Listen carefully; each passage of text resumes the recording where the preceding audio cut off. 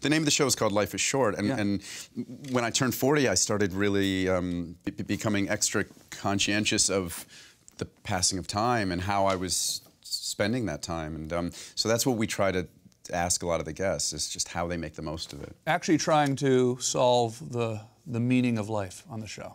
That's what we're doing. Yeah. yeah, and and stay tuned, we may solve it. Yeah. That, and then that would be amazing. I mean, but you have such amazing guests on.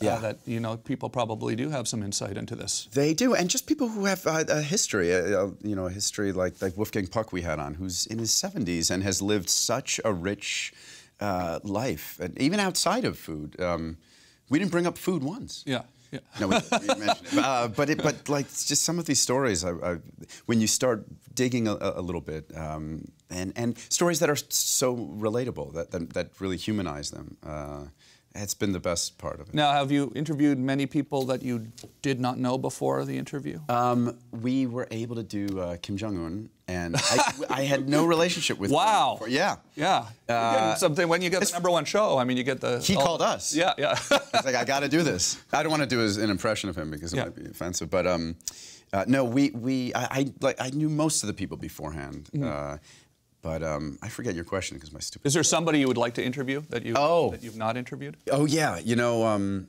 well, you were saying you would be on the Oh, show, and I anytime. would I would love I would that because. I have so many questions for you just because I.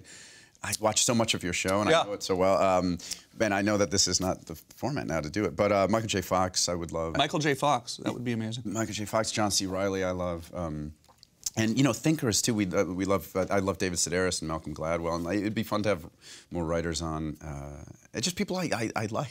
I like. Never miss a beat. Subscribe to Larry King now and watch new episodes every day.